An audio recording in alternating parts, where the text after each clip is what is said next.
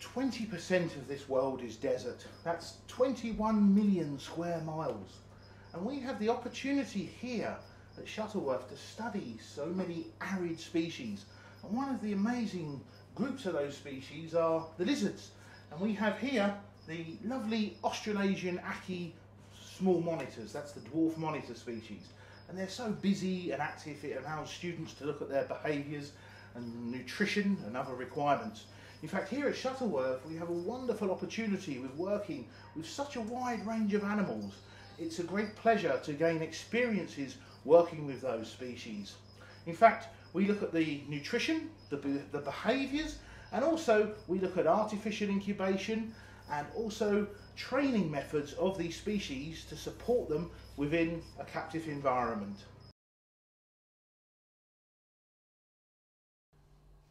Here we have the Uromastyx or dab lizard, which is a wonderful species of lizard that can often be seen excavating in the sand, thrashing its tail about to ward off predators.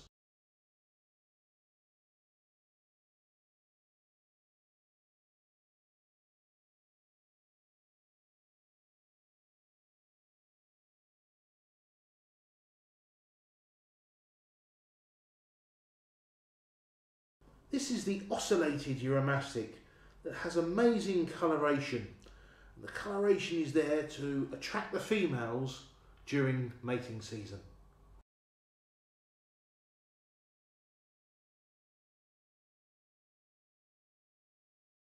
The Uromastyx very rarely drinks. It gets most of the moisture from the food that it feeds on, which are seeds, pulses and raw vegetation.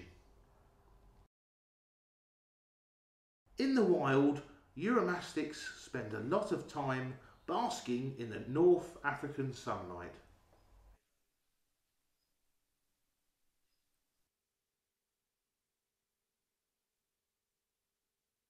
This is the African Varanus white-throated monitor. It's a large carnivorous lizard that uses his forked tongue to taste the air while hunting prey currently an Appendix 2 listed species for being endangered, making it an offence to trade this species without a permit. Unlike the white-throated monitor, the Australasian blue-tongued skink uses its tongue to ward off predators.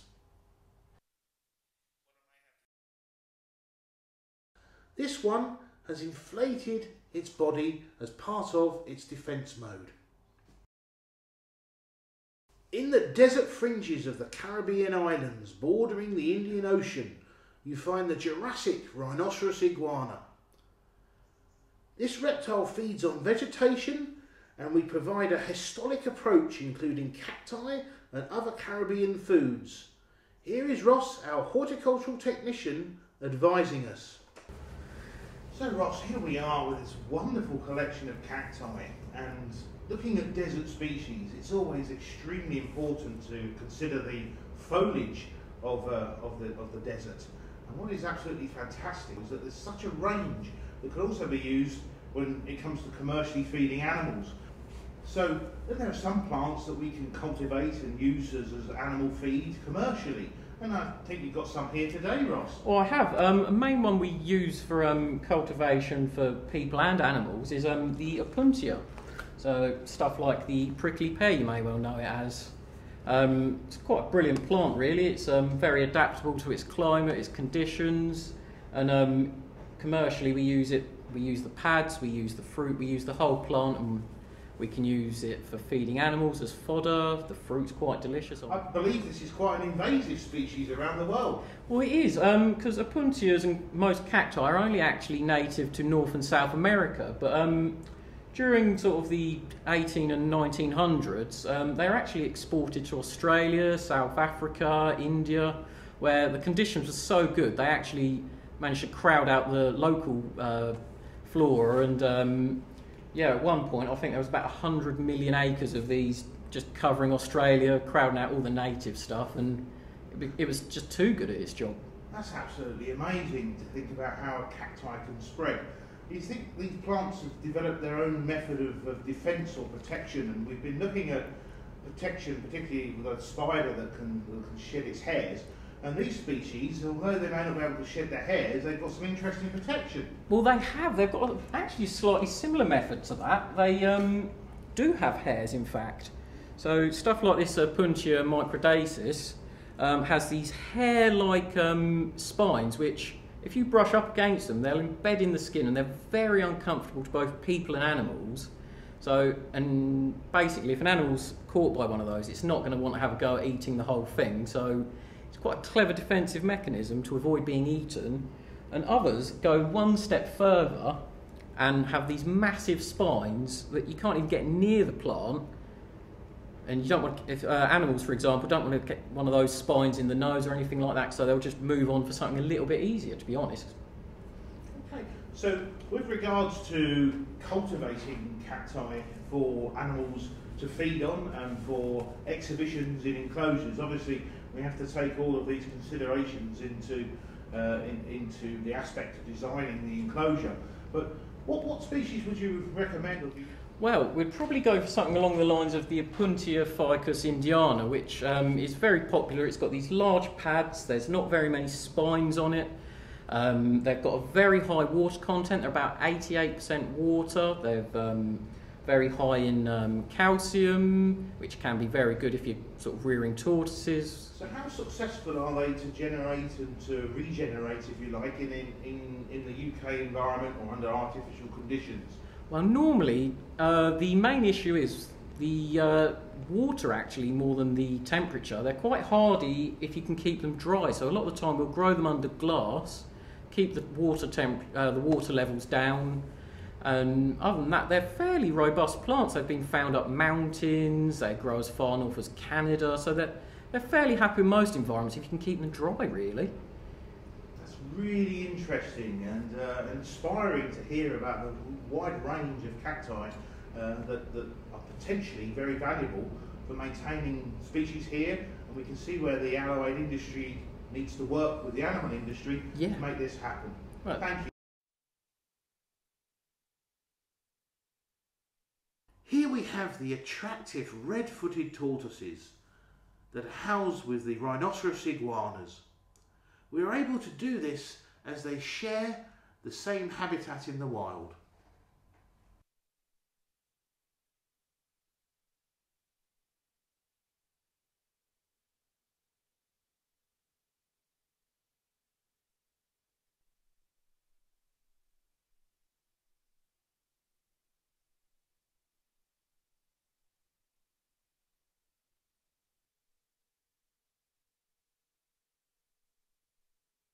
At Shuttleworth College, we've been very successful at breeding pancake tortoises. Here is Chris inspecting one of our eggs. The incubation of the pancake tortoise will take 90 to 120 days. During this period, the shell is distorted, and after hatching, the tortoise will regain its natural shape after 48 hours. Here we have two of our captive bred pancake tortoises, bred here at Shuttleworth College. The pancake tortoise is an endangered species that is protected by law and requires microchipping and registration from DEFRA. The pancake tortoise is appropriately named because of its very flat appearance. The top part of the shell is called the carapace and the bottom part of the shell is called the plastron. And these tortoises have adapted in a fascinating way where they can wedge themselves between rocks and they can inflate their shells, which can prevent them from being dislodged from these rocks by predators.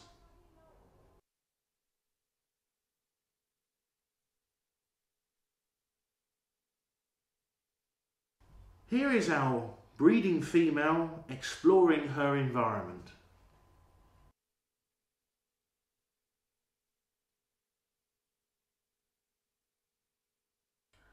The female pancake tortoise excavates a hole.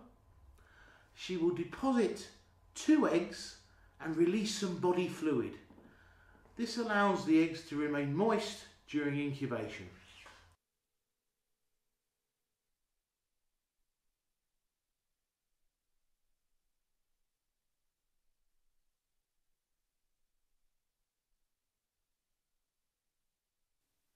The Sheltopusik, or glass lizard, is an Eastern European species, a very unusual limbless lizard. You'd be forgiven for thinking this was a snake. The eyes have eyelids and the tongue is mammalian-like. These lizards feed on a range of small mammals, birds and invertebrates.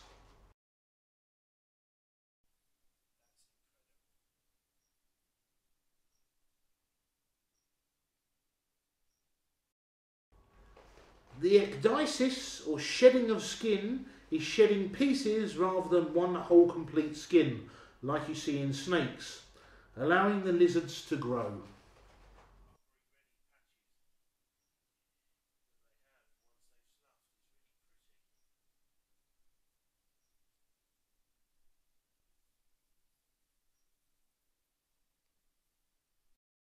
This leads us to the false coral snake curled in a defensive position. This snake in the wild has been documented feeding on the venomous Scolopendra, showing no side effects to the venom.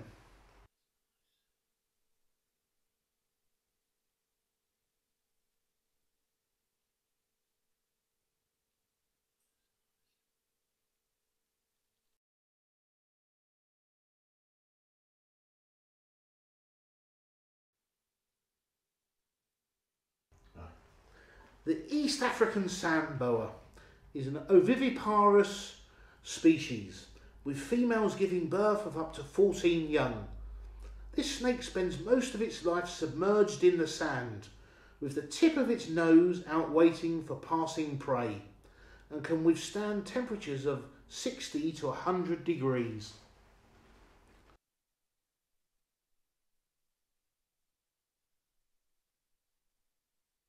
Here is the unique hognose snake using its upturned nose to root about hunting for prey in the sand.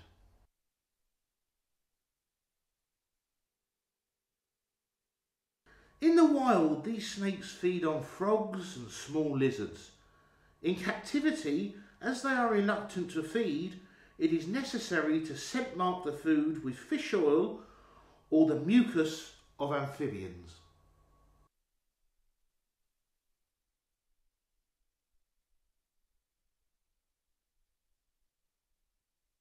The robust keeled-shaped scales of the hognose snake allows extra protection from the sun rays of the desert.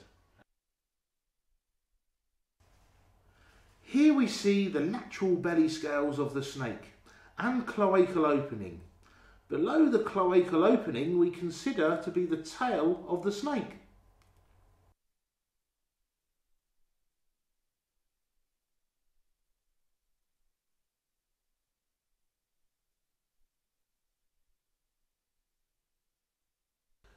The snake scent marks his surroundings and you can see the cloacal opening where the male will mark his territory.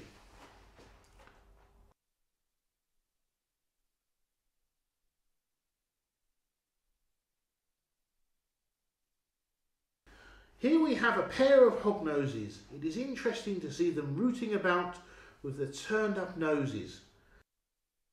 Hognoses are really popular with herpetologists and have been bred in many colour forms and mutations.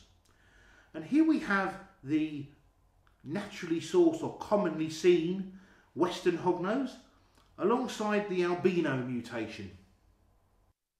This snake is often causing great discussion about the venom potency. Although no venom gland is present, the hognose does have toxic saliva produced in the Duvernoy's gland in the rear of the mouth. Bites to humans can occasionally cause local swelling but are not dangerous. Here we have a bird-eating spider from the Brachypelma family in a defensive position. The red-kneed Mexican bird-eating spider uses its hind legs to flick barb, urticating hairs, which are an irritant to predators' eyes and respiratory system.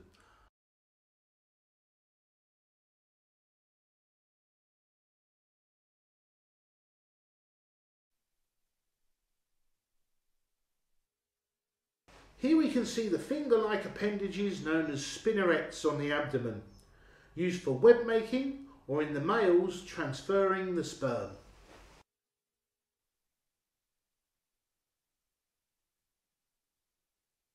Here we have the cluster of eyes that allow orbital vision.